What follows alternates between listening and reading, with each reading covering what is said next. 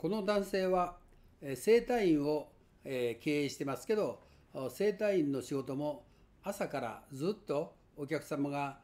来てるわけではないのでその空いてる時間に自分のところのムービングページを作られたんですね。このムービングページっていうのはどういうのかっていうとここに紹介してるまず動画があってそしてその紹介するためのランニングページがあって他にまた何かあ Facebook だとかホームページだとかインスタグラムがあればあつけれると。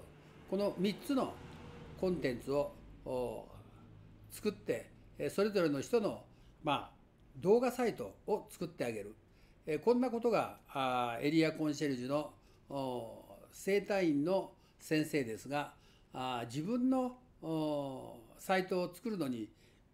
いろいろチャレンジしたんですけど、まあ、このムービングページというこのシンプルなあランニングページに興味を持っていただいて